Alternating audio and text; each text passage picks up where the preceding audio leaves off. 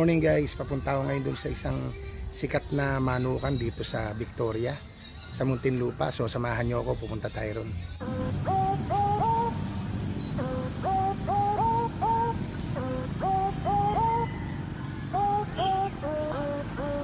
Morning,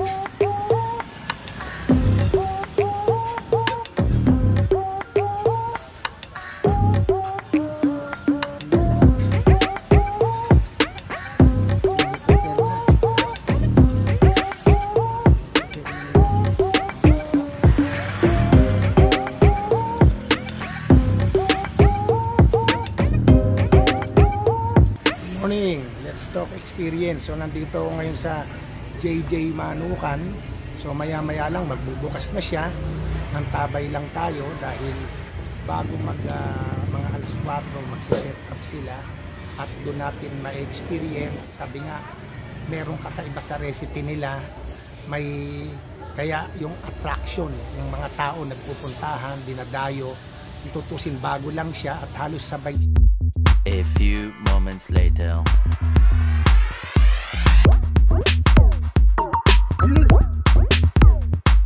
Hello po, ako po si Mick. Bali, ah, naging classmate po ako ni JJ. So, pagkakilala ko kay JJ, talagang ano yan eh. ah, noon pa man, ah, business-minded talaga yan. So, nung nalaman kong may business siyang ganito, ah, support naman ako. So, gusto ko talaga dito yung ano nila, yung chicken inasal nila. So, parang kumakain ka na rin sa mga inasal talaga. So, the best po yun. Tsaka ito, patay ng baboy. Sarap to. Uh, isaw o isaw ng baboy. So, the best to. Ah, kung may time kayo, ah, visit kayo nito. Sa JJ's Manukan. Talagang sulit at mura. Ito.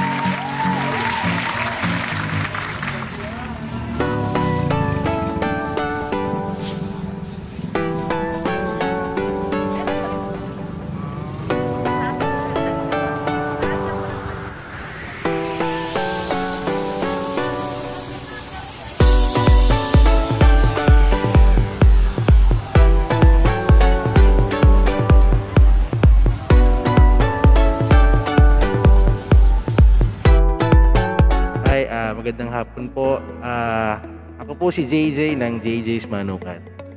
Ah, nag-umpisa po kami. ah, before kasi hindi ko naman po talaga linya tong pag-iiyaw-iyaw na negosyo. Ah, doon po kasi eh nagtatrabaho talaga ako sa sales. Ako po isang ahente ah, ng isang malaking kumpanya dito sa atin. Ah, ah, yun na nga, Ah, nag-umpisa bilang ahente. At medyo nag-step up lang. Pero po talaga ang forte ng aming negosyo talaga noon eh yung pagdi-deliver po doon sa palengke ng mga manok. Kasi may naging kaibigan po tayo na merong siyang slaughterhouse. Katayan po doon sa bayan ng Kabuyaw. Ah, natulungan po tayo na magbukas po ng bagong opportunity Ah, pagdi-deliver naman po ng perishable, yan, yung mga ah, live and dressed chicken po. Yan. So yun, ah, nagdire-diretso hanggang sa may nakilala po akong isang tao na dati rin siyang tao ng aking sinusuplian. Ah, yun po, ah, nag, ah, nagkaroon sila ng problema sa dati niyang pinapasukan. Ah, naging magkasama po kami Ah, actually, siya po ay taga Bacolod. Taga Sipalay po siya. Eh, nagtrabaho po sa Bacolod, sa Manokan Country po. Ah, yun po naging istorya namin. Ang pangalan niya po ay si Ruben. Ah, message ko lang kay Ruben. Kung nasan ka man ngayon, Ruben, sana masaya ka. Maraming salamat sa naitulong mo. Ah, hanggang sa ngayon, nagkaroon ng pandemic. Actually, ang nag-start yung negosyo namin na to, ano eh, 20 pala ah 2019 papuntang 2020. Tapos nag one year kami nitong last November, nag first year po kami. Yun po. Ah, tapos yun, ah, nung una kasi ah, nag-upisa kami, maliit lang po talaga. Talagang maliit na ihaw-ihaw lang po. Ah, kumbaga, normal na nakikita nyo sa kalsada. Kumbaga ako po kasi, hindi ko po inisip na hanggang dun lang yung pwedeng maging mangyari sa negosyo. Kumbaga, yung mga big, mga malalaki na na ihawan na merong ah, kagaya ng sa South dito si Mang Raul yan, inspirasyon natin yan. Ah Ontiveros dyan sa may bandang Pasay. Yan, JT's ah, Manukan dyan sa may Ortigas. Yan mga madalas namin napapasyalan noon so ako, ah, hindi ko tinignan na hanggang dito lang mga ganito lang tayo kaliit kumbaga tinignan ko na sana maging kagaya rin nila yun lang naman po tapos yun, may pagsubok nga, nagkaroon ng lockdown, sara muna. Awa ng Diyos, yung tenant namin is, ah, yung landlord is mabait naman po. Ah, alam niya naman po na yung sitwasyon, kaya tuloy-tuloy po ang biyaya na binibigay sa amin. Ah, yun lang naman po. Ah, sa ngayon, medyo nakakabawi-bawi naman na po kami sa kung ano man po ang nayor ngayon. Dati po kasi maliit lang eh. Eh, may mga picture po kami dati na halos sa gilid ko lang pinapakain yung mga dati kong kaopisina. Eh ngayon po, napapakain ko na sila ng ano, nakaupo, mas maginhawa na po ngayon. Lang naman po. ah, sa ano naman po, sa experience ko naman po dito, ah, okay naman po. Ah, maganda po ang kitaan.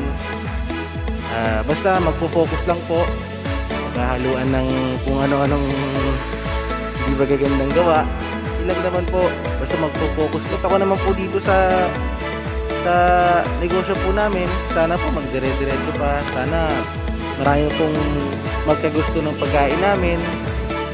Sana ah, mas lumaki pa po. Ah, located po itong JJ's Manukan Asalan House dito po sa ah, Jade Heights Avenue, ah, Victoria Homes, Tunasan, Muntinlupa po. Pwede nyo rin po itong i-Waze ah, using ah, the Waze app. Ah, type nyo lang po yung JJ's Manukan Asalan House. Ah, available na rin po pala kami sa aming bagong partner ngayon sa paghahatid sa inyo ng serbisyo ng mga pagkain. Meron na po kami ngayong Food Panda. Available na po ang aming resto sa Food Panda. Kaya kung malayo man po kayo, pwede po kayo mag-order sa kanila. Thank you po. Okay, so umalis lang uli si Sir JJ at ah, siya ay nag-deliver at nakita ko very hands-on siya sa kanyang business at ah, talagang sinusuportahan niya ang kanyang Ang totoo, hindi niya lang naikwento sa inyo nung mag-lockdown. Halos majority ng mga businesses nagsara pero sila pansamantala dahil hindi pa allow na mag-deliver man lang mag-operate pero nung mag-operate na talagang nakip niya yung kanyang mga tao at ngayon nga ay kami-kani-kaniya silang ginagawa para palakihin yung business nila.